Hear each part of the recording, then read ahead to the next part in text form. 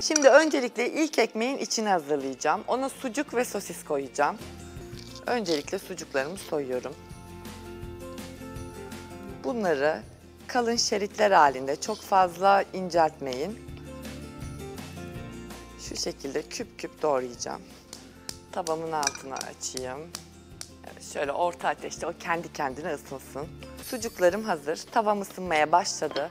İçine şuradan birazcık tereyağı koyacağım. O erirken ben hemen sosislerimi de doğramak istiyorum. Bunları da yine biraz kalın bir şekilde doğrayacağım. Öncelikle sucuklarımı atacağım. Hemen içine yine sosisleri atacağım. Bunların orta ateşte güzelce kavrulmasını istiyorum. Ben orada tepsime ekmeklerimi hazırlayacağım. Bunu daha önce yapmıştık ekşi mayalı ekmekte.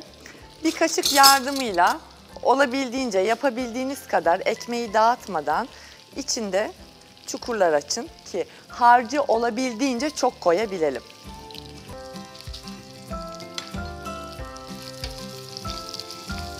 Bu aşamada içine bir tatlı kaşığı kadar biber salçası koyacağım. Salçayı mümkün olduğunca harcın her yerine tamamıyla yedirmeye çalışın. Bu olmak üzere o esnada biz bir yandan da diğer ekmekleri hazırlayalım. Şöyle kenarlarına pastırma koyacağım. Ortasını mümkün olduğunca çukur bırakın çünkü oraya yumurta kıracağız.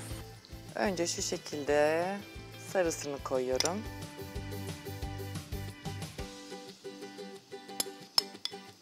Tamamdır. Bu yumurta benim için ideal. Şekilde birazcık da cheddar peyniri koyacağım. Bunlar çok güzel bir şekilde akacak. Burada yumurtamız var. Bunun üzerine birazcık tuz, biraz da karabiber koyuyorum. Burada mümkün olduğunca bol koyun. Hiç böyle hani harcı acımayın. Doldurun gitsin. Şunu da şöyle tamamdır. Şimdi bunun ikinci aşaması üzerine bolca rende kaşar peyniri koyuyoruz. Olabildiğince koyun. O zaman bunları hemen 200 derece fırına gönderiyorum.